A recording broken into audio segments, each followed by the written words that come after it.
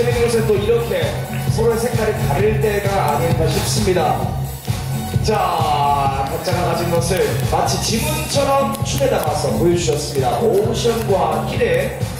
이렇게 각자 가진 걸 너무나 잘할 때 기준을 세우기가 힘들 거라고 생각이 듭니다. 다소 고민이 있어 보이는 우리 두 분의 심사위원 잠시만 시간을 더 드리도록 하겠습니다.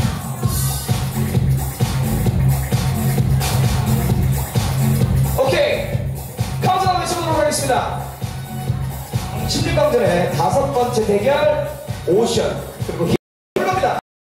3, 2, 1